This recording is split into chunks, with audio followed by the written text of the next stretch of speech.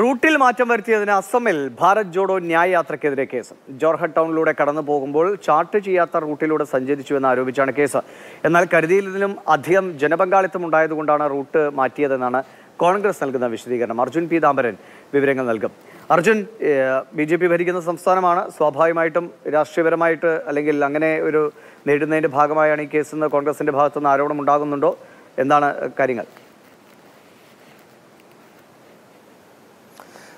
ദിവിഷ് ജോർഹട്ടിൽ ഭാരത് ജോഡോ യാത്ര കടന്നു പോകാനായിട്ട് അനുവദിച്ചിരുന്ന റോഡ് അത് വളരെ ഇടുങ്ങിയതാണ്. നേർത്ത വഴിയിലൂടെ മാത്രമാണ് കടന്നു പോകാനായിട്ട് അനുവദിച്ചിരുന്നത്. അതുകൊണ്ട് വലിയൊരു ആൾക്കൂട്ടത്തെ ഉൾക്കൊള്ളിച്ചുകൊണ്ട് യാത്ര മുന്നോട്ട് കൊണ്ടുപോകാൻ സാധിക്കുന്നില്ല. അതുകൊണ്ട് ഏകദേശം ഏതാനും മീറ്ററുകൾ മാത്രമാണ് നിശ്ചയിച്ചിരുന്ന നേരത്തെ മാർഗനിർദ്ദേശങ്ങൾ നൽകി നിശ്ചയിച്ചിരുന്ന റൂട്ടിൽ നിന്നും മാറി സഞ്ചരിക്കേണ്ടി വന്നത് എന്നുള്ള കാര്യമാണ് അസമിലെ പ്രതിപക്ഷ നേതാവും അതുപോലെ തന്നെ കോൺഗ്രസ് പാർട്ടി നേതാക്കളും ഈ യാത്രയുടെ സംഘാടകരും വിശദീകരിക്കുന്ന കാര്യം. ഈ റൂട്ടിൽ നിന്നും വ്യതിചരിച്ച് മറ്റൊരു ഭാഗത്തേക്ക് പോയ സമയത്ത് അത് വലിയ രീതിയിലുള്ള പ്രശ്നങ്ങൾക്കും ഈ ഗതാഗത തടസ്സം അതുപോലെ തന്നെ ആളുകൾ അവിടെ സ്ഥാപിച്ചിരുന്ന ബാരിക്കേഡ് എല്ലാം തന്നെ മറികടന്ന് യാത്രയെ അനുഭവി അനുഗമിക്കാനായി ഒരുപാട് പേർ മുന്നോട്ട് വന്നു എന്നുള്ള കാര്യം ക്രമസമാധാന നിലയിലുള്ളൊരു പ്രശ്നമുണ്ടായി എന്നുള്ള കാര്യം ആരോപിച്ചുകൊണ്ടാണ് പോലീസ് കേസ് രജിസ്റ്റർ ചെയ്തിരിക്കുന്നത്. പക്ഷേ തീർച്ചയായിട്ടും ഈ യാത്ര തടയാൻ വേണ്ടിയിട്ടുള്ള ശ്രമമാണ് ഹിമന്ത് വിശ്വ ശർമ്മയുടെ ഭാഗത്തു നിന്നും ഉണ്ടാകുന്നത് ബി ജെ പിയുടെ ഭാഗത്തു നിന്നും ഉണ്ടാകുന്നത് എന്നുള്ള കാര്യം തന്നെയാണ് കോൺഗ്രസ് ആരോപിക്കുന്നതും. എട്ട് ദിവസമാണ് അസമിൽ